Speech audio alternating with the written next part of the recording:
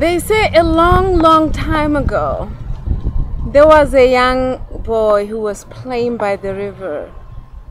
His mother had told him many times, You need to stay away from the river because if something bad happens, then no one will be there to help you. He wouldn't listen. In this village, there was no ambulance. Nobody even knew what an ambulance was. There was no hospital. Nobody knew what that was. That is another story that I will tell at a later time. I am here to introduce The Rain Race. The Rain Race is a children's book that I wrote under the direction of the um, Institute of Children's Literature. I thank all my mentors, professors, friends, family, and everyone who encouraged me um, to start talking about children's books.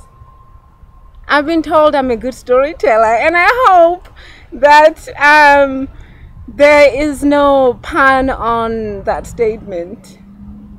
And even if there were, that wouldn't stop me from telling children's stories. The Rain Race is a story that is set uh, in the Kingdom of Lesotho in Southern Africa. It is a story about how women and girls come together in a prayer for rain. Copies will be available at lulu.com and I will give you a sample reading in my next post. You're probably having questions. What led me to to write children's books? Many reasons, obviously.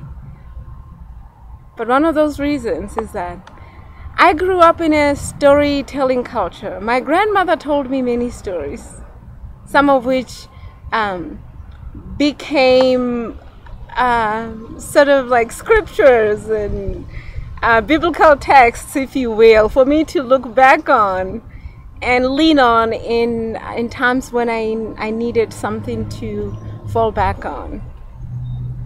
I hope that the rain race will provide something similar for you, if anything at all, even entertainment for you and your families. Thank you for listening.